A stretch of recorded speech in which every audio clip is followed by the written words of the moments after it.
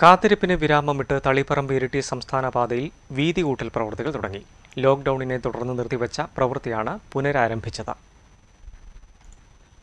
തളിപ്പറമ്പിരിട്ടി സംസ്ഥാന പാതയിൽ കപ്പാല മുതൽ ചൊറുക്കള വരെയുള്ള ഏഴ് കിലോമീറ്ററാണ് വീതി കൂട്ടി ടാർ ചെയ്യുന്നത്.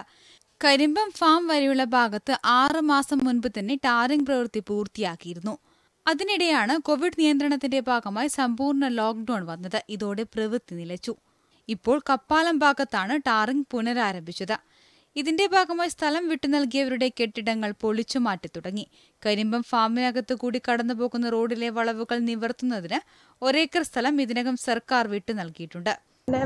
അതുപോലെ തന്നെ ചെയർമാനും മറ്റ് കമ്മിറ്റി ആ ഭാഗത്തുള്ള എല്ലാവരുമായി ബന്ധപ്പെട്ട് ഒരു മീറ്റിംഗ് വിളിക്കുകയും അതിൽ ആ ഭാഗത്തുള്ള എല്ലാവരും സ്ഥലം വിട്ടു നൽകുകയും അതിന്റെ ഭാഗമായി ഇപ്പോൾ നമുക്കൊരു നല്ലൊരു സംസ്ഥാന പാത ഇവിടെ വരാനുള്ള ഒരു സൗകര്യവും ഉണ്ടായി.